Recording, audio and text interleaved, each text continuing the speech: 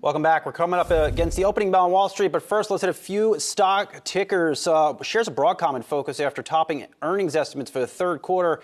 Its total revenue increased 25% year over year, uh, topping eight and a half million or million dollars. Uh, look, uh, Brad. Bottom line here on, on, Broadcom, pretty good quarter, all things considered. Here, uh, cloud service providers, enterprise, record quarter for this company. Stock is the third hottest ticker on our platform. There you have it.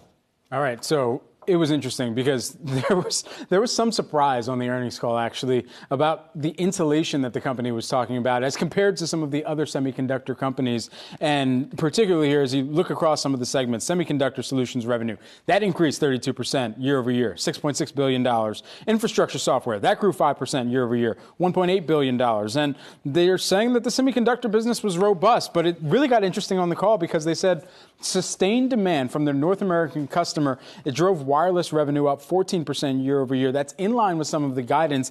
And they're not seeing any effects from uh, from regional kind of considerations, specifically with China. They were asked on that a couple times uh, about the call, and so they don't expect to be impacted there. In terms of what they're seeing right now, there's some speculation, but it's nothing more than that. They are continuing to reiterate that the long-term sustainable demand in the semiconductor space is still a mid-single-digit compound growth rate, maybe about six 5%, somewhere around there. And so it was really strong words from the CEO on the call, just pushing back, saying, Look, we don't know what you're talking about because we're good. we're doing great. House. Life is beautiful. Uh, look, this has been an interesting week. We've got some more, another round of tech earnings. Okta, not good. Have some folks at Citi saying that was a dismal quarter. They're probably maybe the uh, they are in fact right. Nutanix, we talked to them yesterday. Good quarter, cloud service play. Now you have Broadcom here uh, highlighting strength in the cloud. So you're getting a little bit of everything as earnings season winds down. Absolutely.